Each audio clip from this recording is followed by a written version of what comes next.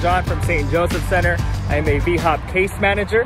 Uh, today we've been tasked with uh, locating uh, people who are interested in taking the coronavirus vaccine in our area.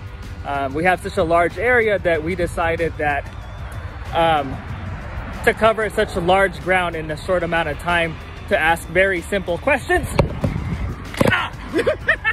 Sorry, it's crashed. To ask very simple questions. Um, it would be faster to just go on bikes. So that's what we're doing today, riding our bikes and outreaching.